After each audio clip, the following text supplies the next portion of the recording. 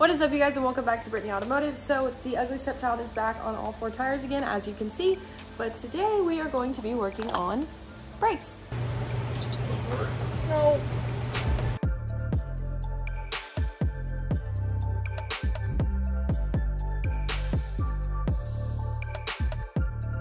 Holy crap.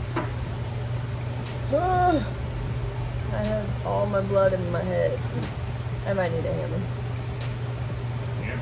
to get the pin out of the, yeah, the bolt to slide out. So the ugly stepchild is moving to manual brakes, which means that um, we got to change a couple different things. So this TBM kit is really helpful for that, and I will leave a link down below for you guys to get to it easily. So now that I've got the brake pedal off, it says to drill a hole that is two inches down and half an inch in. So we got that hole drilled and we are ready to install. Now I was gonna make a video doing this install, but I thought what better time than now with Rocky Mountain happening and what happened to Ellis George. If you guys have been keeping up on Cleetus's page, Ellis George ended up in a field. In Cleetus's video, Ellis George says that he's missing a lock, which I believe he's talking about this grommet. This grommet actually goes on this push rod right here. Let me just show you the difference really quick. If you have this push rod it's got all that room to move.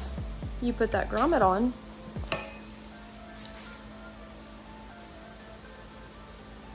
It sits in there very well. Now another thing that we are talking about in the video was actually having a stop for your pedal and I will get more into that once we are in the car.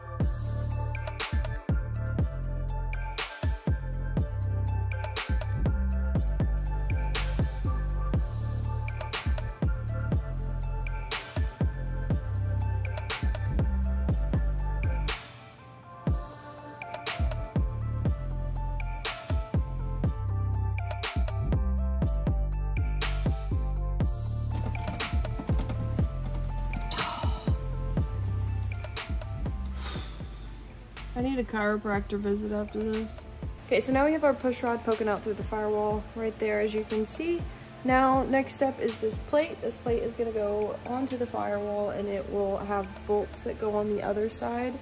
And then after that gets put in, then the master cylinder will go through this hole and then you have two more bolts to put in.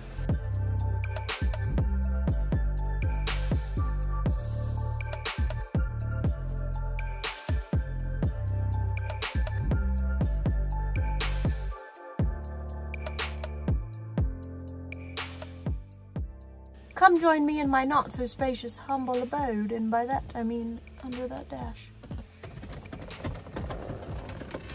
I'm like a pro at this by now.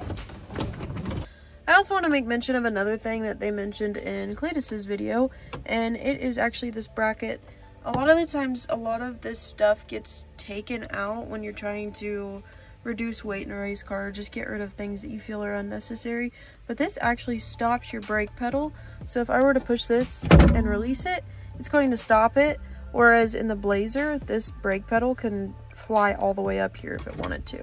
So if you watch the rod that's actually in the master cylinder here, if I push it down, now if the stop wasn't here, this rod can come with the brake pedal out and if it were to come out then it will come out of the master cylinder and then it's actually like there's actually a lot of pressure inside of there so it wouldn't easily go back in by itself.